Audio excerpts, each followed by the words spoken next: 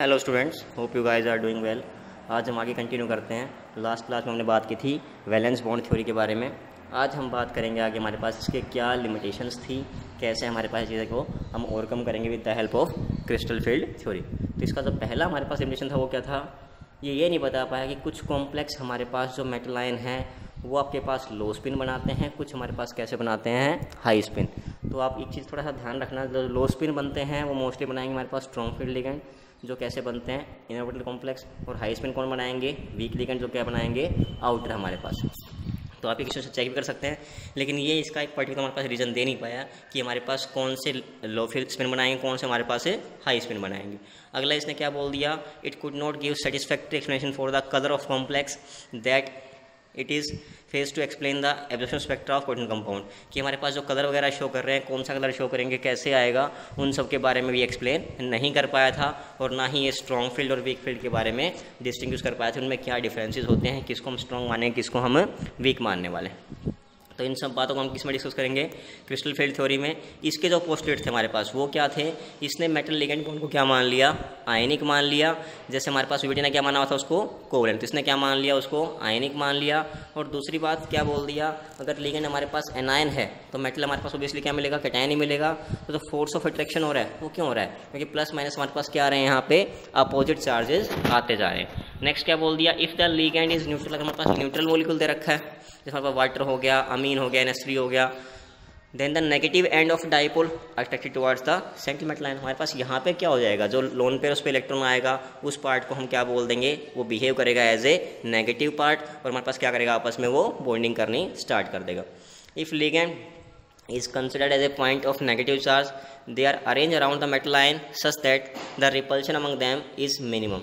मतलब हमें क्या चाहिए? हम उनको इस तरीके से अरेंज मान लो मैंने ये मेटल लगा दिया तो मान लो मेरे पास चार लिंगन थे मैंने इसको ऐसे अरेंज कर लिया छः थे, मैंने ऐसे अरेंज कर लिया। मतलब अरेंजमेंट कुछ इस तरह से होगा ताकि हमारे पास लिगेंड्स पे क्या है? मिनिमम रिपल्शन आपस में हो क्योंकि सब पे हमारे पास क्या है? नेगेटिव चार्ज आ रहा है।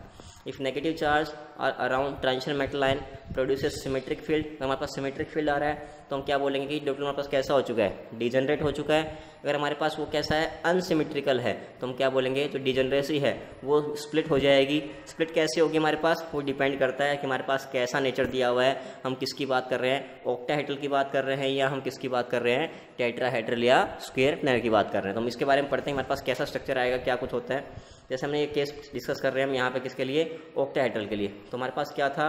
ड्यूटल था किसमें? आपके पास करीब फ्री आयन में। हमने इसको कुछ एनर्जी दी। एक साइड और कहाँ चला गया? एक स्टेट सेकंड में आया, जहाँ हमारे पास क्या है? Air energy of ड्यूटल in a spherical crystal field हमारे पास। अब यहाँ पे डिजनरेसी हमारे पास आ चुकी है। अनसिमेट्रिकल हो चुका है। तो हम क्या करेंगे इसको? स्प्लिट करेंगे दो पार्ट्स में। मैंने इसको दो पार्ट्स में तोड़ दिया। एक तीन हमारे डी में कितने होते हैं? पाँच होते हैं। X Y Y Z Z X नीचे आ जाएँगे, जिसको हम क्या बोलते हैं? टी टू जी बोलते हैं। X square minus Y square और जेड स्क्र कहाँ आएँगे? ऊपर से हम क्या बोलते हैं? ईजी बोलते हैं। अब यहाँ पे क्या है? इन दोनों के जो बीच का डिफरेंस हमारे पास ये आएगा। इसको हमने क्या बोल दिया? Delta naught delta stands for crystal field splitting energy और ओ स्टैंड्स फॉर ओक्टा मतलब क्या निकाल रहे हैं ये? सी एफ़ एस सी निकाल रहे हैं किसकी? ओक्टाहेड्रल फ़ील्ड के लिए। दूसरा हमारे पास अगर डिफरेंस कितना है डेल्टा नोट है तो हमारे पास इसमें जो पॉइंट्स आएँगे तो नीचे वाला पार्ट हमारे पास हो गया कितना आएगा? Minus point four delta naught ऊपर वाला कितना आएगा? पॉइंट सिक्स डेल्टा नोट इसके सेंटर से एक लाइन पास करती है जो इसको हम क्या बोलते हैं? ज़ीरो बोलते हैं हमारे पास। इसको हम क्या बोलेंगे? बेसिकली बैरी सेंटर तो हमारे पास यहाँ पे क्या हुआ? जो डेवडल था आपके पास, वो पाँच पार्ट्स में डिवाइड हो गया। तीन नीचे आए, दो ऊपर आए, इसको हम टी टू जी बोलते हैं, इसको हम क्या बोलते हैं? ईजी बोलते हैं। तुम्हारे पास ये क्या हो गया? हमने कैसे इसको डिवाइड करना है? एग्ज़ाम में कई बार डायरेक्ट हमारे पास ये डायग्राम भी पूछ लेते हैं हमारे पास तीन नंबर में कि हमारे पास जो ऑक्टाहाइड्रल फ़ील्ड है, उसका सी का डायग्राम कैसे होगा, कैसे स्प्लिट करते हैं, क्या बैरी सेंटर होता है, क्या हमारे पास चीज़ें यहाँ पर आएँगी? तो इसको मैंने एक्सप्लेन भी किया नीचे। देखो हमारे पास क्या बोल दिया कि जहाँ भी ऑक्टाहाइड्रल फ़ील्ड आएगा हमारे पास, जो डी कहाँ पे करेगा? दो सेट में टूट जाएगा। एक सेट में तो क्या आएँगे? X Y Y Z Z X जिसकी एनर्जी क्या होगी? कम होगी, जिसको हम क्या बोलते हैं? टी टू जी बोलते हैं। और जो दूसरा आएगा X square minus Y square Z square उसकी एनर्जी ज़्यादा है, इसको हम क्या बोलते हैं? ईजी बोलते हैं। दोनों का जो डिफरेंस आएगा सेट्स का difference of energy between two sets इक्विडोजी का और इजी का हमारे पास, उसको हम क्या बोलते हैं? सी एफ़ एस सी बोलते हैं क्रिस्टल फ़ील्ड स्प्लिटिंग एनर्जी बोलते हैं। इसको हम किससे लिख के दिखाएँगे? डेल्टा नोट से लिख के दिखाएँगे। It may be noted that before splitting पहले हम क्या करते हैं, उनकी एनर्जी को are first raise to high energy due to repulsion between the ligand सारे लिगेंड्स हमारे पास सब पे नेगेटिव चार्ज है रिपल्सन होना स्टार्ट होगा तो उसको हम पहले कहाँ लेके जाएँगे? एक एक्साइटेड स्टेट में लेके जाएँगे having high energy and the D orbitals the average energy of the orbitals इस जगह हमने क्या मान लिया? इसको ज़ीरो मान लिया, इसको हम क्या बोलते हैं? बेरी सेंटर बोलते हैं। ज़ीरो से ऊपर वाला पार्ट जो आएगा ईजी वो कितना होगा? Point six delta naught above the average value और जो नीचे वाला हमारे पास फोर्टी टू जी का वो कितना आएगा? Minus point four below the average value अब यहाँ से मैं एक चीज़ आती है स्पेक्ट्रोकेमिकल सीरीज़ ये क्या होती है बेसिकली कि हमारे पास अलग अलग लिगेंड थे। अलग अलग लिगेंड थे, उनकी हमारे पास अलग अलग क्या आई? सी एफ़ एस सी की वैल्यू आई। तो हमने अरेंज कर दिया लीगेंड्स को in order of their C F S जिसकी कम थी उसको पहले रख दिया, जिसकी हमारे पास ज़्यादा है उसको कहाँ रख दिया आपने? बाद में रख दिया। तो जो सीरीज़ हमारे पास बन के आई, उसको हम क्या बोलते हैं? स्पेक्ट्रोकेमिकल सीरीज़ बोलते हैं। तो हमारे पास कुछ ऐसी एक सीरीज़ निकल के आई तो यहाँ से आपको पता लग गया कि हमारे पास जो वोटर है उससे पहले वाले आ रहे हैं, उनको हमने क्या मान लिया? वीक लिगेंड मान लिया, और जो अमोनिया है ई एन है सी एन है सी ओ है, इनको चारों को हमने क्या मान लिया? स्ट्रॉन्ग लिगेंड मान लिया। जो हमारे पास जो वीबीटी थी बैलेंस बॉन्ड थोड़ी थी, वो बता नहीं पाई थी कि उसने कोई स्पेक्ट्रोकेमिकल सीरीज़ के नाम की बात नहीं की थी। तो हम यहाँ से निकाल सकते हैं कौन सा स्ट्रॉन्ग आएगा और कौन सा हमारे पास क्या आएगा? वीक आएगा। कैलकुलेशन कैसे करते हैं? बहुत आसान है हमारे पास। हमने क्या बोल दिया formula C F S C नीचे वाली वैल्यू कितनी आई थी? माइनस पॉइंट फोर आई थी into X point six into Y यहाँ पे एक्स क्या शो कर रहा है? नीचे वाला क्या था? टी टू जी में कितने इलेक्ट्रॉन आएँगे और वाई हमारे पास क्या शो कर रहा है? वाई शो कर रहा है। ई जी में हमारे पास कितने इलेक्ट्रॉन आएँगे? तो हमारे पास एक्स क्या आएगा?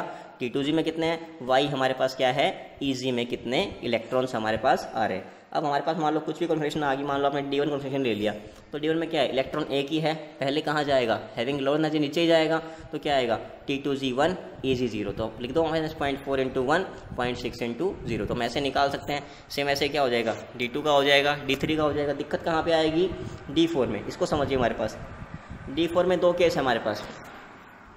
या तो स्ट्रॉन्ग लिगेंड मिल सकता है या वीक लिगेंड आपको पता है, जहाँ स्ट्रॉन्ग लिगेंड मिलेगा, वहाँ क्या होती है? पेयरिंग हो जाएगी। वीक वाले में पेयरिंग नहीं होती। तो मान लो डी फोर का केस आया। तो मैंने एक, दो, तीन ऐसे प्लेस किए। तो चौथा क्या होगा? नीचे ही आएगा। क्यों? क्योंकि स्ट्रॉन्ग फ़ील्ड लिगेंड है पेयरिंग करवाएगा। चौथा हमारे पास कहाँ आएगा? नीचे ही आएगा। लेकिन अगर वीक लिगेंड हुआ तो हमारे पास क्या होगा? तीन नीचे चौथा हमारे पास कहाँ पहुँच जाएगा? ऊपर पहुँच जाएगा तो इसे हम क्या लिखेंगे? यहाँ पे तो क्या आएगा? T two G four E G zero यहाँ क्या आएगा? T two G three E G one तो हम यहाँ से इनकी वैल्यूज़ निकाल सकते हैं। सेम ऐसे ही केस डी फाइव में पेयरिंग हो जाएगी स्ट्रॉन्ग में, इसमें पेयरिंग नहीं होगी। डी सिक्स में पेयरिंग हो जाएगी, यहाँ पेयरिंग नहीं होगी। हमारे पास ऐसे ही किसका आएगा? डी सेवन का केस आ गया हमारे पास। यहाँ पे हमारे पास क्या है? छः यहाँ पे आएँगे, सातवा यहाँ पे आना स्टार्ट होगा और यहाँ क्या होंगे? एक, दो, तीन, चार, पाँच, फिर छः, सात नीचे आएँगे। तो आप इसको सिस्टम से चलते जाओ हमारे पास कि पहले एनर्जी किसकी है? बस सिंपल सी बात याद रखनी है, हमारे पास जहाँ स्ट्रॉन्ग फ़ील्ड लिगेंड आएगा, वहाँ आपको पेयरिंग करवानी है और वीक वाले में पेयरिंग नहीं करवानी है क्वेश्चन अपने आप आपके पास क्या हो जाएगा? करेक्ट होता चला जाएगा। जहाँ हमारे पास D eight D nine D ten की बात करते हैं, हमारे पास एक ही पॉसिबल केस बनता है, चाहे आपके पास स्ट्रॉन्ग हो, चाहे वीक हो, हमारे पास यही केस आएँगे कि हमारे पास डी एट है तो एक, दो, तीन, चार, पाँच छः सात, आठ चाहे ऐसे का स्ट्रॉन्ग की तरह मान लो, चाहे वीक की तरह मान लो, हमारे पास सेम वही केस बनना है तो हमारे पास इनमें क्या आएँगी? तीनों में सेम वैल्यू आपके पास आती चली जाएँगी। अब यहाँ पे कंसेप्ट आ जाए किसका? पेयरिंग एनर्जी का। पेयरिंग एनर्जी क्या होती है? The value of delta naught is usually compared with the energy required for the electron pairing हमारे पास सीएफएससी की जो वैल्यू होती है, उसको हम किससे कंपेयर करते हैं? कि उस इलेक्ट्रॉन्स को पेयरिंग करने के लिए कितनी एनर्जी चाहिए इन ए सिंगल ऑर्बिटल और इस एनर्जी को हम क्या बोलते हैं? पेयरिंग एनर्जी बोलते हैं। इसको हम किससे लिख के दिखाते हैं? पी से लिख के दिखाते हैं। तो यहाँ पे दो केस आते हैं। अगर हमारे पास सीएफएससी की वैल्यू ज़्यादा है किससे? पेयरिंग से तो पेयरिंग हो जाएगी मतलब हमारे पास ऐसे लिगेंड कौन से होते हैं? स्ट्रॉन्ग फ़ील्ड हमने यहाँ से डिफाइन भी कर दिया कि स्ट्रॉन्ग फ़ील्ड लिगेंड किसको बोलेंगे? जहाँ पे सी की वैल्यू पेयरिंग से ज़्यादा आएगी, वहाँ पेयरिंग हो जाएगी और पेयरिंग किसमें होती है? स्ट्रॉन्ग फ़ील्ड लिगेंड में। उल्टा केस अगर उसकी वैल्यू कम है तो पेयरिंग नहीं होगी। मतलब कैसे लिगेंड हैं ये? वीक फ़ील्ड लिगेंड है। तो ये आपको समझना है कैसे हमारे पास चीज़ें इसमें वेरी करती हुई चल रही हैं। नेक्स्ट हमारे पास है क्रिस्टल फ़ील्ड थ्योरी ये सी एफ़ टी हमारे पास, है ना? C F T for tetrahedral complexes तो बिल्कुल सिंपल है, जो हमने ओक्टा का पढ़ा था जस्ट उसका आपको रिवर्स करना है। ये हमारे पास सेम ये आपके पास सेम बस उसमें क्या था? नीचे आया था टी टू जी ऊपर क्या आया था? ई जी नीचे ये तीनों आए थे, ऊपर क्या आए थे? दोनों, बस उल्टा कर दो। ऊपर ये तीनों पहुँच जाएँगे, नीचे ये आएँगे तो ऊपर कितना आया था? पॉइंट सिक्स पॉइंट सिक्स नीचे आ जाएगा। पॉइंट फोर कहाँ पहुँच जाएगा? ऊपर। वहाँ डिफरेंस आया था delta naught delta stand for C F S C O stand for octahedral यहाँ क्या आएगा? डेल्टा टी आएगा, तुम्हारे पास क्या हो गया? Point four delta T minus point six से डेल्टा टी तुम्हारे पास ये सब चीज़ें हैं कि हमारे पास कैसे इसका डायग्राम आएगा? बाकी मोस्टली हमारे पास जो पूछते हैं वो किसका पूछते हैं? आपके पास है टेट्रा का हमारे पास नहीं पूछते हैं। हमारे पास किसका पूछते हैं? ओक्टा का ही मेनली मेनली पूछते हैं आपके पास। तो उसका हमें ध्यान रखना है कैसे हम पेरिंग एनर्जी वगैरह निकालते हैं और कैसे हमारे पास चीज़ें उसमें क्या करेंगी? वेरी करती हुई चलेंगी। तो आपको यहाँ तक करना है ये। Till take care stable state home